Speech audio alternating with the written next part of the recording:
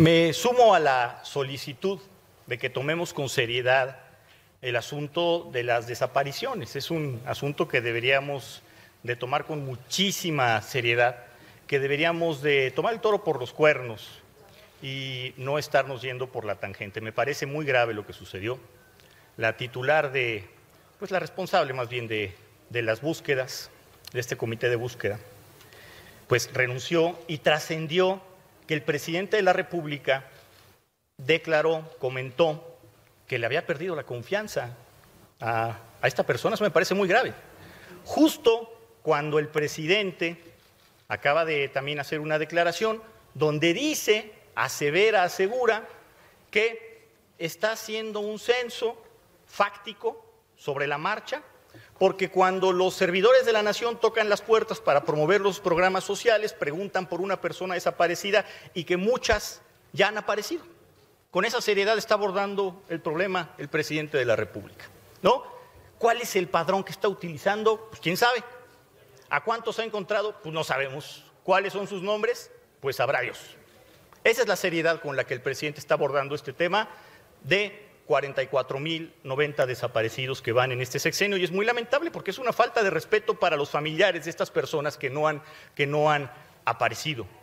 Dice el presidente, y lo dijo claramente hoy, que nunca en la historia de este país se había hecho un esfuerzo tan grande por encontrar a personas desaparecidas.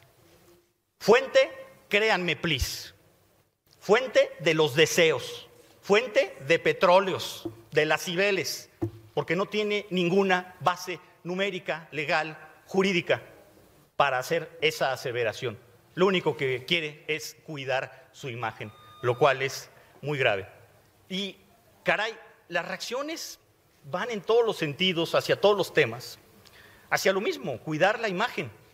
Ni una palabra ni una palabra, ni una palabra se ha mencionado sobre las 60 mil ampolletas de fentanilo, la ivermectina y otros utensilios médicos que vendió el zar de los fármacos y cacique de Morena en el estado de Jalisco, Carlos Lomelí, al gobierno de Claudia Sheinbaum.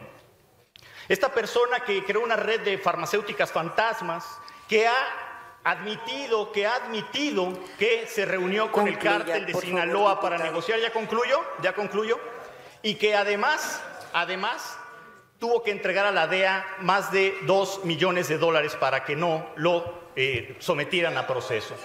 Deberían de hacer eso. Con esto concluyo. Nada más quiero hacer una respuesta muy rápida, unos segunditos, porque aquí se vino a decir, no, ¿quién dijo? Eh, que Calderón es nuestro papá o algo así. dijeron, Calderón es papá suyo de ustedes o algo así.